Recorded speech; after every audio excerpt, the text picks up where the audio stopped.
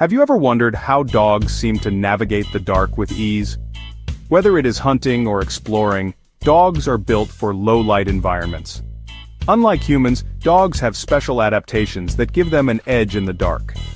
Their eyes are designed to capture more light thanks to an abundance of rod cells in their retinas. But there is more.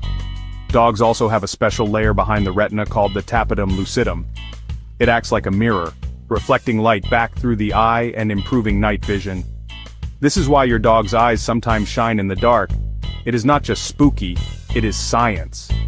But vision is not the only sense dogs rely on. Their sense of smell is up to 100,000 times more sensitive than ours, allowing them to see the world through scent, even in pitch black. And do not forget their hearing.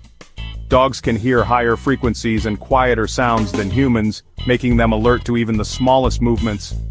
All these adaptations, enhanced vision, powerful smell, and keen hearing, make dogs exceptional hunters and explorers in the dark. So next time your dog heads off into the dark without hesitation remember, it is just nature doing its thing.